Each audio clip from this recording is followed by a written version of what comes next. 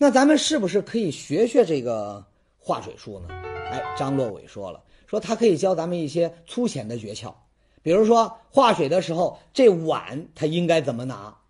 拿碗的姿势，他也必须必须教在你这么拿的，这三个手指头就辟邪的嘛，嗯，这是辟邪的一种姿势，嗯，这个代表是三元将军嘛，还有我们苗族就是代表三大天王嘛，三元将军。不过呢，张洛伟呢他也说了，你光是学会了拿碗那可不够，画水术真正的奥秘其实呢在于拿着碗比划的时候嘴里念的咒语。那如果没学会这咒语，却硬要去表演绝技，后果那可就严重了。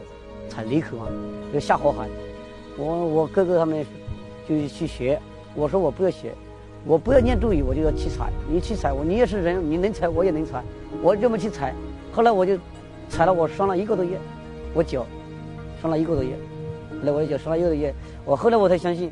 那么这关键的咒语能不能也教给咱们？哎，面对这个问题呢，张家兄弟说说不好意思啊，祖上有训，概不外传。藤上这么多年了，是吧？都是祖传下来，一代传一代的埋的，人家都都没事了。从我老爸那里学的，他说一代传一代，到我们现在到我们这里是第九代。看来啊，涉及到了人家的祖传秘密，学咒语，那咱们是甭指望了。那怎么办呢？眼看这神奇的画水术就在眼前，却揭不开里面的奥秘。那您说这事儿给弄的哈，这不是让咱们百爪挠心、痒痒的难受吗？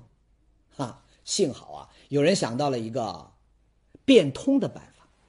谁呢？就这位凤凰县人民医院的内科主治医生吴显顺。这老吴啊，那也是一个土生土长的湘西人。他从小就听着各种湘西绝技的传说长大的，他很清楚这一行里面的规矩。他这个有的是祖传家里祖传的，他不可能告诉你清楚说，我这个画着水，我有什么咒语，怎么画？那你一般你不跟他学的话，他不是不是教给你教的，他不会告诉你的。不过呢，这次老吴觉得呀，咱们可以换种方式来满足一下咱们的好奇心。什么方式呢？老吴说呀，说别的湘西绝技啊，什么赶尸啊、上刀山下火海呀，他一个内科医生拿他们没办法。可这张洛伟他表演的画水术是把这竹筷子吃进肚子里，那咱们是不是可以让张洛伟呢来做一个内科检查，看看这个筷子在体内它变成了什么样子呢？哎，好主意。于是呢，很快有人呢就去跟这张洛伟呢交涉，说啊，既然你这画水术的咒语咱们没法学，那行啊，咱就不强求了。好歹你做个 CT，让咱们看看这又粗又硬的竹筷子在吞进这个肚子以后，被这个神奇的化水术给变成了什么样子。这这总可以吧？哎，都说到这个份儿上了，那张洛伟呢，他也就挺爽快的就答应了。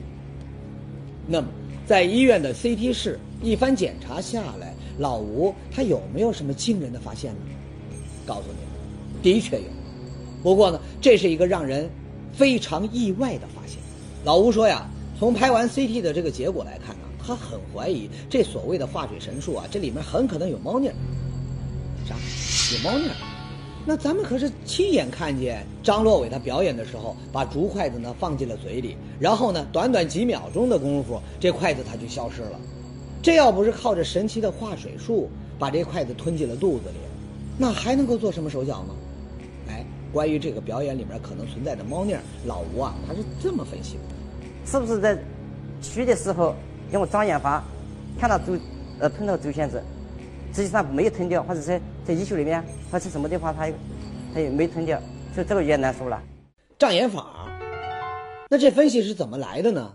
原来张洛伟拍 CT 的时候呢，离他表演完吞竹块才不到一个小时，可这电脑上的 CT 结果显示，在他的肚子里呢，居然已经看不到筷子的踪影了。食物残渣太多了，哎食物残渣或者竹签子，或者个竹签它的显影呢，在在 CT 下显影呢，几乎差不多的，或者有的食物显影比较密度比较低，和这个显影的显影的密度一模一样的。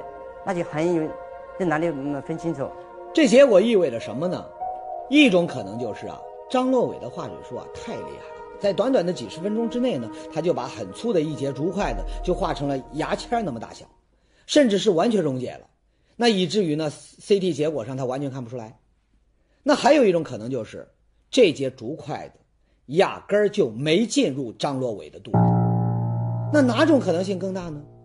为这事儿啊，老吴呢还特意请教了他的一个朋友，北京市育英中学的张烨老师。那这位张烨老师呢，他是教化学的啊，对于竹子有啥特点，他是再清楚不过了。因为木头或者竹子，它都是主要成分，百分之大约五六十都是纤维素，然后加上一些其他的一些成分。这个纤维素，嗯，要想把它溶解是非常困难的。嗯，当时用了是一个是盐酸，一个是氢氧化钠，这是酸碱，强酸强碱。然后后来我想有机溶剂也试一下吧，我就想到了用苯。按照张老师做实验的结果来看呢，哪怕是用腐蚀性极强的化学品，把这竹筷子在里面泡上几天几夜，也很难让这竹子呢分解掉。嗯，我大概模拟了一下，这个就是 pH 值大约一到二这样的一个 pH 值的盐酸溶液，我泡了以后发现，嗯，这筷子基本上没有什么太大的变化。